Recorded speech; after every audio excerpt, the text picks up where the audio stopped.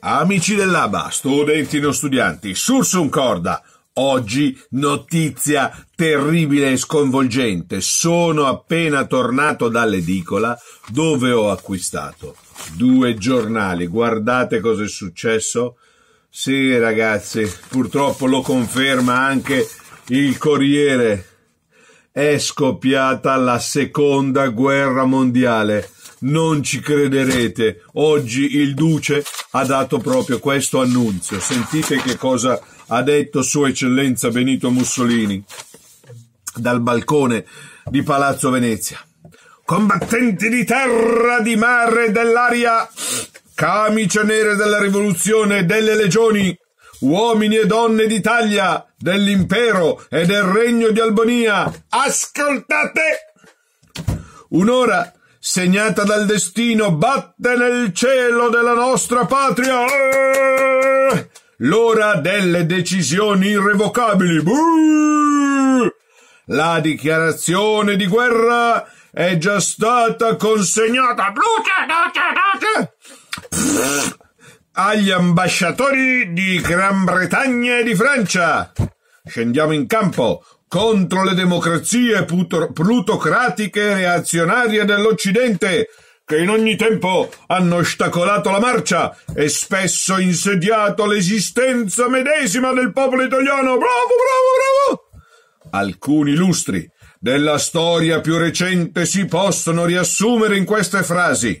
Promesse, minacce, ricatti e alla fine quale coronamento dell'edificio l'ignobile assedio societario dei 52 stati. Buh, buh. Questa è la folla, eh?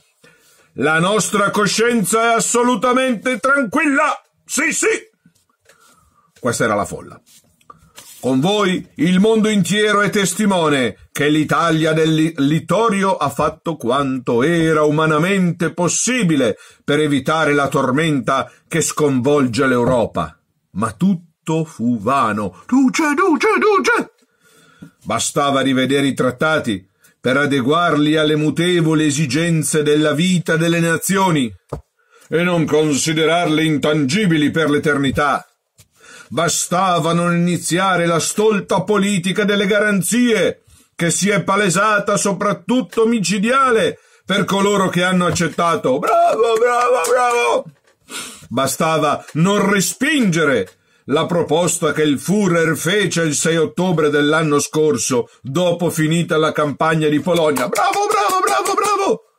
Ormai tutto ciò appartiene al passato.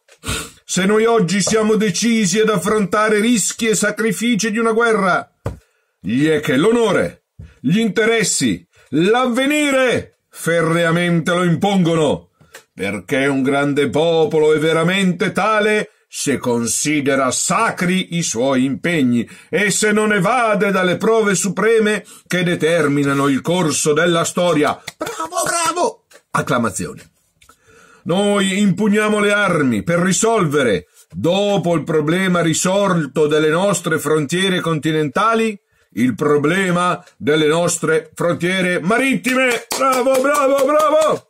Noi vogliamo spezzare le catene di ordine territoriale e militare che ci soffocano nel nostro mare, perché un popolo di 45 milioni di anime non è veramente libero se non ha libero accesso all'oceano. Duce, duce, duce, duce questa lotta gigantesca. Non è che una fase, lo sviluppo logico della nostra rivoluzione.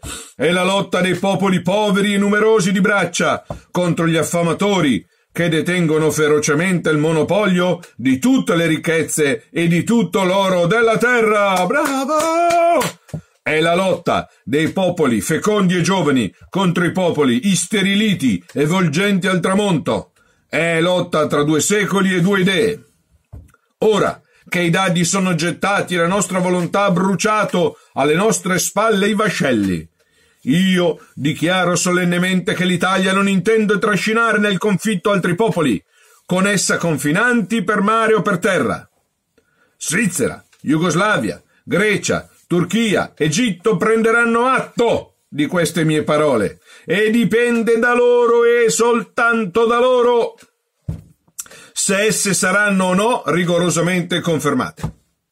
Italiani! In una memorabile adunata, quella di Berlino, lo dissi, che secondo le leggi della morale fascista, quando si ha un amico di marcia, con lui si va sino in fondo. Questo abbiamo fatto e faremo con la Germania, col suo popolo, con le sue vittoriose forze armate.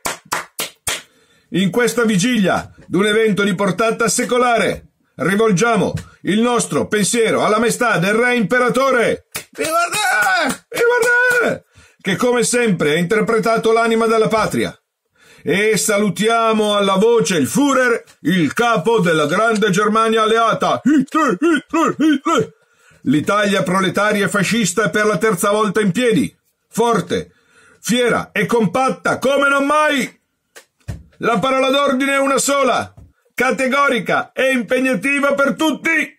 Essa già trasvola e accende i cuori dalle Alpi all'Oceano Indiano. Vincere e vinceremo! Eh! Per dare finalmente un lungo periodo di pace con la giustizia all'Italia, all'Europa, al mondo. Popolo italiano, corri alle armi e dimostra la tua tenacia, il tuo coraggio, il tuo volere.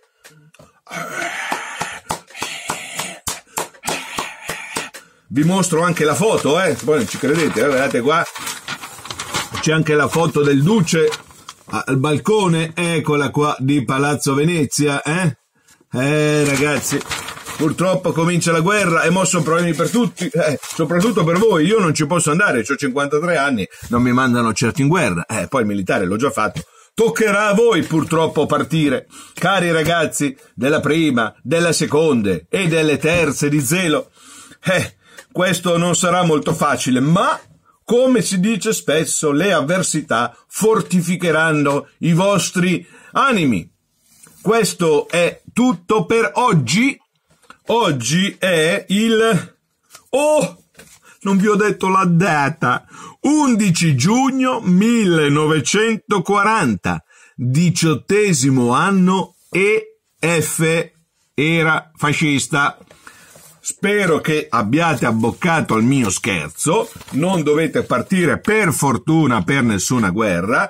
L'Italia e l'Europa conoscono per la prima volta nella loro storia da 80 anni una pace duratura e speriamo ancora eh, futura per molto tempo. Sembra incredibile, ma se io ci penso, eh, i miei genitori sono nati nel 36, e nel 1937 addirittura prima dello scoppio della, della, seconda guerra mondiale, o meglio del coinvolgimento italiano nella prima guerra mondiale. E il nonno mio materno ha partecipato addirittura alla prima guerra mondiale, giovanissimo, era già sul fronte. Come tutte le nostre famiglie, i vostri bisnonni particolarmente, sono state segnate dalle guerre e come noi siamo la seconda generazione, almeno io la seconda, voi la terza generazione, che ha la fortuna di vivere in un periodo di pace e di prosperità che in Europa non si era mai conosciuto. Spero che non, che non abbiate abboccato lo scherzo, non c'è nessuna guerra a cui partecipare e preghiamo Dio che non ce ne sia mai, naturalmente, per tutte le nostre vite. See you later, alligator in white crocodile. Bye!